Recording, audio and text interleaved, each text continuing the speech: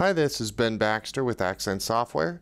Today I wanted to give you a tips and tricks video for Dynamics 365 Business Central. This is the new cloud version of the previously known Dynamics NAV software. And it's a, it's a great application. It has a lot of great features to it.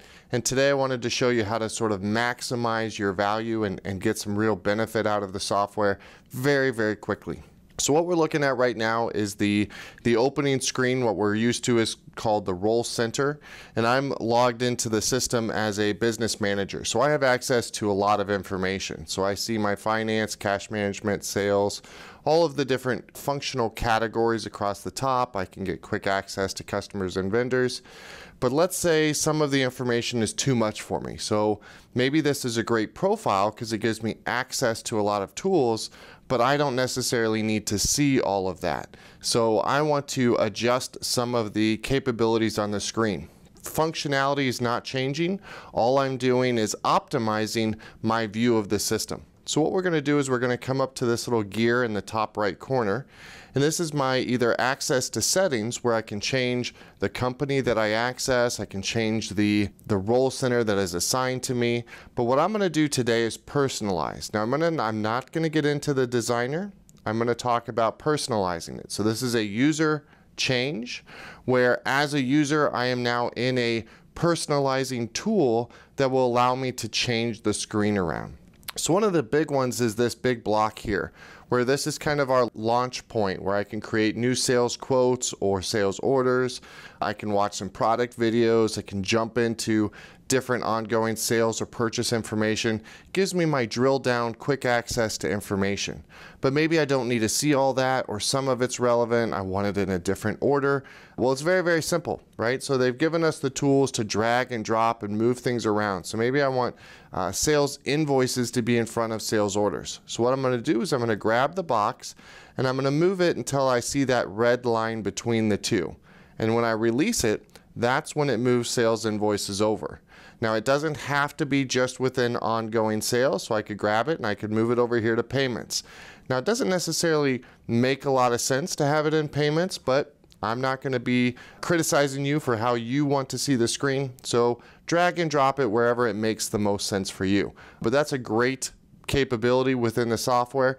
Let's say the product videos are were great. Okay, I've seen them, I understand what they are. I don't need them to take up some space on my screen.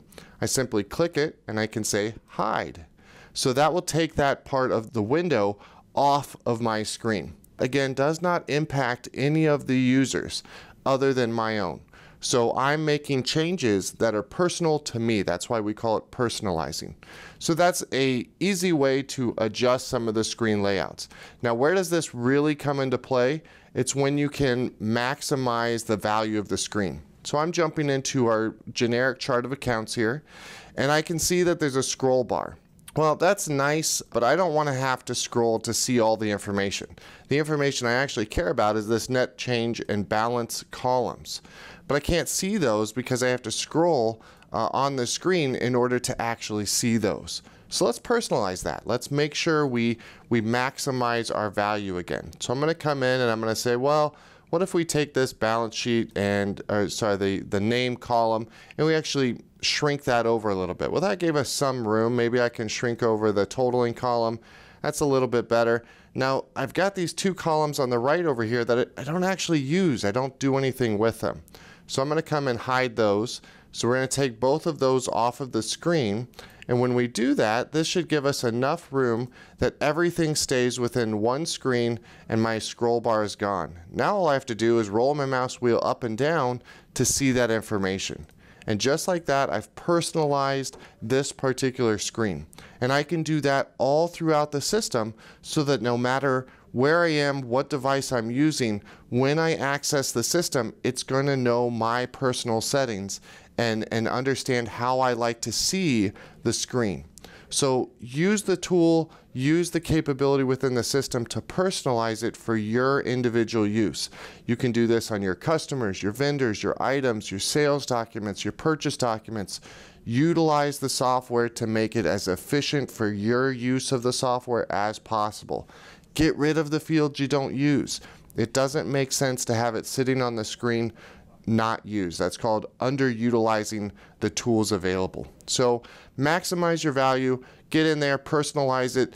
It doesn't hurt anything. Let's say I've made a tremendous mistake here and I've accidentally wrecked my screen. I've moved the columns around. I'm completely confused on what I've done. I can come in, say personalize again, and I'm going to click this more option, which actually expands the personalizing across the bar where now I can see this is how I add a field okay? But I'm not going to do that part of it today.